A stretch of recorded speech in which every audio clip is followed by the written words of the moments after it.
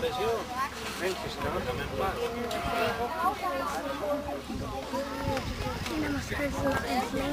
times!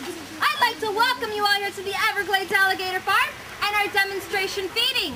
My name is Desiree and I'll be feeding the alligators for you today.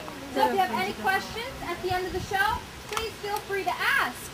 Now, in this pond, folks, we've got a little over 200 alligators. I know what some of you all might be thinking right now. I've got one small bucket of food, a little over 200 alligators. How is everybody going to eat, right? Well, I want you guys to all take a good look at the alligators in this pond. Do they look like they need to eat today? No. Folks, we've got rats on the menu today.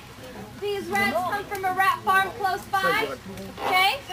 They do come here dead. We don't kill them. Ladies and gentlemen, I know some of you sometimes stay like to get close to this fence while I'm feeding, okay? I do throw my hands back like this to throw the rats, okay? So if you're standing here, you're gonna get hit in the face with a rat. Okay? I'm very sorry. I warned you. Now, the rats are also a little bit wet. Okay, they have rat juice. And I do also throw them back, and sometimes you guys get a little rat juice. I'm going to be very careful, okay? Uh, I promise to not get rat juice on you guys. All right, folks, so I want you all to take a look at that water where you see all those heads sticking up, because that's where our first rat's going to go.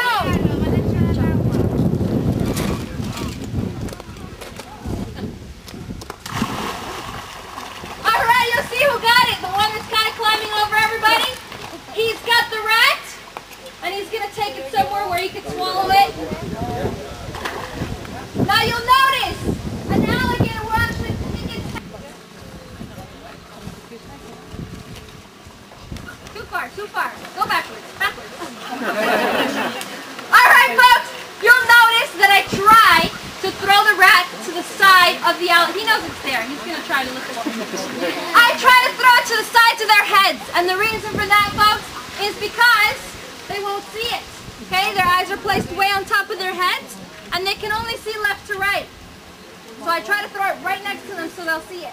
Now what he'll do now is just kind of move around because he knows it's there, and he'll try to find it. But they're not very smart. very little brains. All right, now, a lot of people will ask me, well, can these alligators move too close? Ah.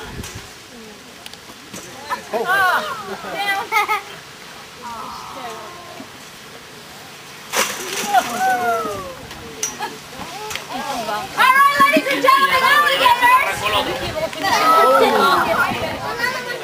Oh, that's a treat for you guys. ¡Ójale! ¡Órale!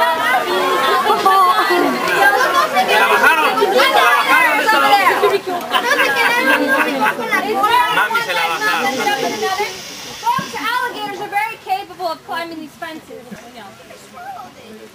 Now he'll actually take that rat. He only wanted one. I think he'll leave me alone now. All right, ladies and gentlemen.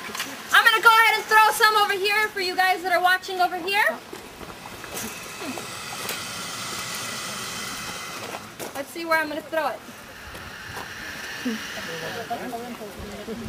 Let's try right there.